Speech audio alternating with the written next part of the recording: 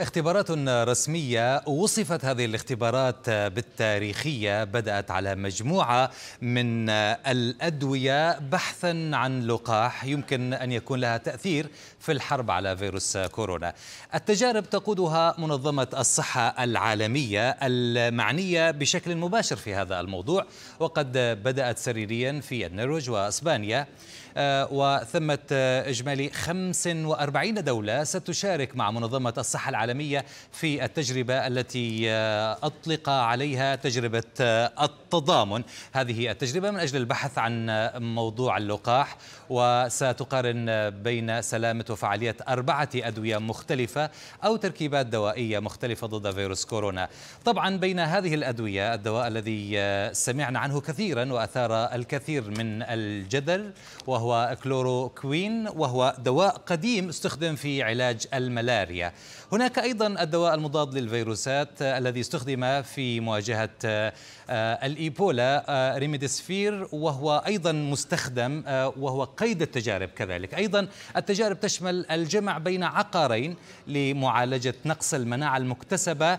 أحد هذه الأدوية الذي من الممكن أن يمزج مع آخر هو ريتونافير وتشمل أيضا كذلك استخدام عقارين معا بالاشتراك مع عقار إضافي هو انترفيرون بيتا وهذا بالنسبة للدواء وهذه مساعي منظمة الصحة العالمية. لكن بالنسبة للقاح فقصة أخرى وهناك تشير إلى أن اللقاح يمكن للأصحاء أن يحموا والدواء يمنع المرضى ويمنح من أجل العلاج فقط.